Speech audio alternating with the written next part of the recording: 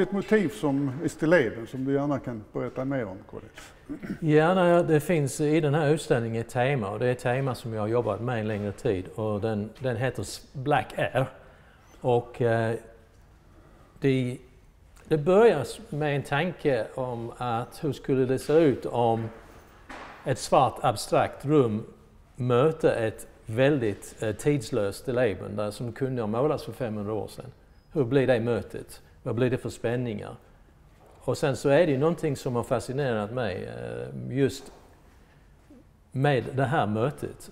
Det blir ett spännande möte och där man jobbar väldigt mycket med luft och rum i, det, i de svarta ytorna. Och det tror jag är rätt så um, speciellt just med tempera, att man kan få det här djupet och den här, den här känslan. Och det, kom, det, det sker via lystern i, i färgerna. Just att det blir, en, det blir en väldigt stark lyster. Som man säger även i de mörka delarna, liksom. inte bara de delar där det lyser. Och just den här känslan av ljus, att ljuset kommer bakifrån. Det är väldigt speciellt mm. tempera. Det, det ger tempera möjligheter. Jaha, här har vi ett motiv som du kallar fristad, eller helig yeah. plats, eller vad du vill kalla den. Yeah. I, eh, mer i svartvitt. Det är en ny stil för dig som vi inte har sett tidigare.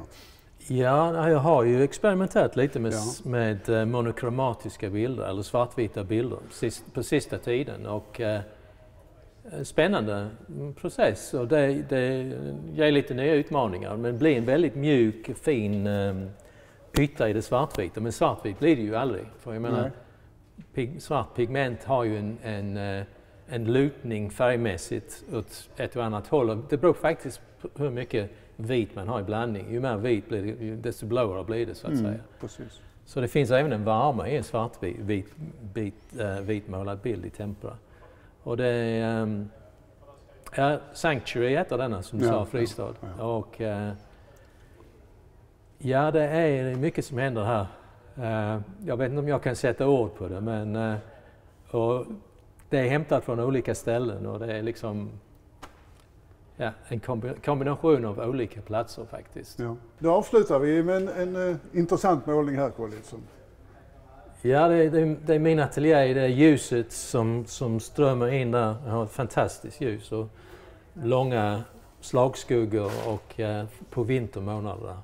Och eh, detta är en, ja, lite löst, någon form av självporträtt. Det blev ju det efterhand. Mina arbetskläder som hänger där på, mm. på stolen och eh, ja, en blomma som jag har i min stora trädgård. Alltså min stora trädgård som är en inglasad balkong.